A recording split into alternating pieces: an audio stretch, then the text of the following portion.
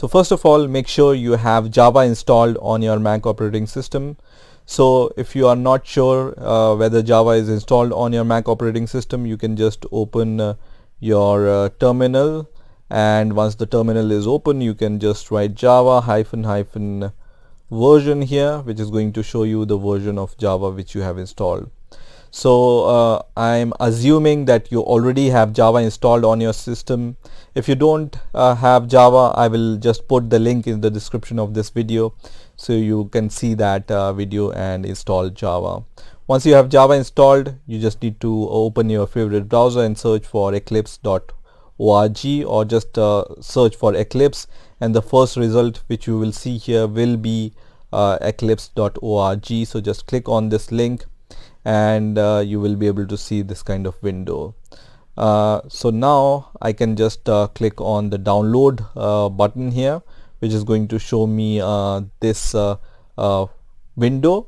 And here I can see the latest version right now at the time of making this video is Eclipse IDE 20-09 so I'm going to just click on this download button here which is going to redirect me to this page so you will see uh, the mirror which is uh, nearer to this the location which where you are located. So you just need to click on the download button uh, which is going to start the download of the DMG file uh, for the Eclipse. So just wait for this download to complete. And once this uh, DMG file is downloaded for the Eclipse you can just click on the DMG file and let me minimize the browser also. It's going to open uh, uh, this uh, DMG file and you will be able to see this kind of window. So now we just need to drag this Eclipse icon into the applications folder. So just select this uh, uh, icon. You can also click on this icon and uh, you will be able to see more information about this Eclipse uh, installer, right? So what I'm going to do is I'm going to just select this Eclipse installer, press the command key and then drag this to the applications folder. So once you have copied uh, this Eclipse installer into your applications folder, you can uh, go to Launchpad and then click on Eclipse installer, which is going to start the installation of Eclipse. You can also minimize this window for the first time when you start the Eclipse installer. It's going to show you this message which says uh, Eclipse installer is an app downloaded from internet. Are you sure you want to open it? I will just click on open button. So now I can see uh, this installer. Here you can choose different kind of uh, Eclipse IDE for your uh, usage. So you can see Eclipse IDE for Java developers, Eclipse IDE for enterprise Java developers, uh, C++ developers, JavaScript developers. So, so you can see uh, Eclipse has support for many uh, different languages and it has support for many different technologies.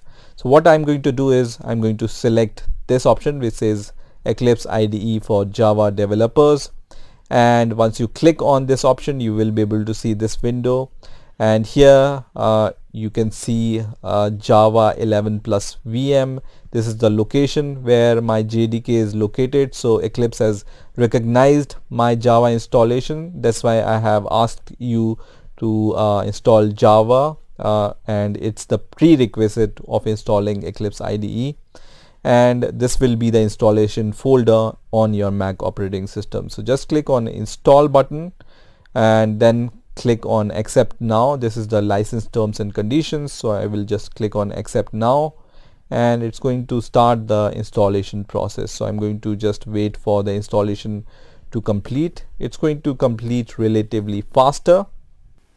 And once Eclipse IDE is installed on your Mac operating system you will be able to see this launch button. So I'm going to just click on the launch button which is going to start the Eclipse IDE on your Mac operating system so for the first time when Eclipse IDE starts, it's going to ask you to provide the location of the workspace directory.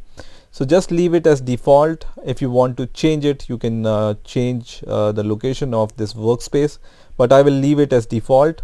Also, I can use uh, this option which says use this as the default and do not ask again.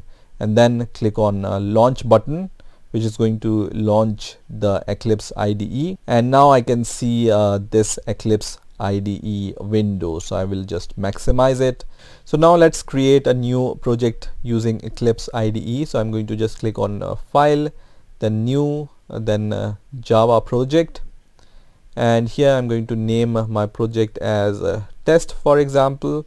And by default you will be able to see uh, the Java uh, JRE environment and uh, all the other uh, settings related to JRE. I will just uh, leave everything as default and then click on next. And this will be the project uh, folder structure of my project. So just leave it as default and then click on finish.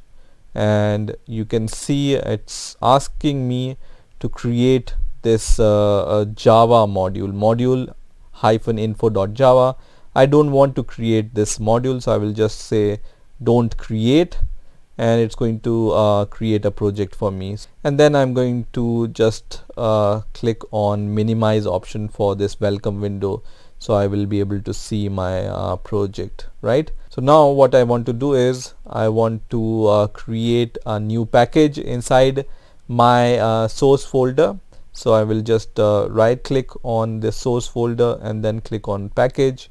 And the package name I'm going to name it as uh, com dot uh, code bind for example. You can name it uh, anything or any name of your choice and then click on finish. And then let's create a class. So right click and then new class. Let's say this is a test class and if you want to create a public uh, static void main method then uh, you can check this checkbox. I will uh, just uh, write this uh, by myself. So I will just uh, uncheck this checkbox and then click on finish option. So inside this test class I'm going to just write public static void main. And then I'm going to just write system dot out dot print ln for print line and then inside the parenthesis I'm going to just uh, write hello world okay? And then close uh, this uh, parenthesis. And once this code is written I can uh, run this code by just clicking on this run button because when you click on the project option you will be able to see that build automatically option is already checked so it's going to build your code automatically. So I can just click on the uh, run button here which is going to run my application and show me the output which is hello world in my case right? So this is how uh, you can uh, uh, create a new Java project in your Eclipse IDE you can also uh, resize uh, and you can also reposition your uh, terminal window. So let me reposition this terminal window at the bottom.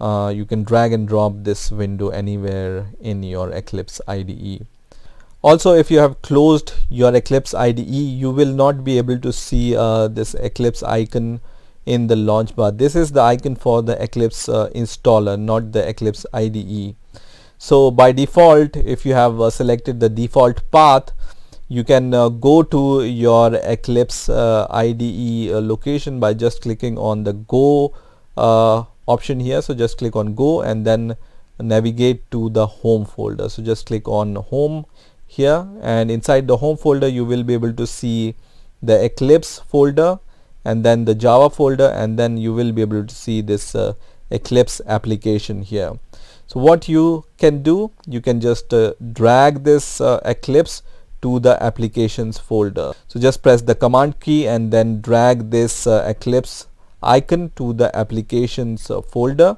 which is going to uh, place this uh, into the applications folder right?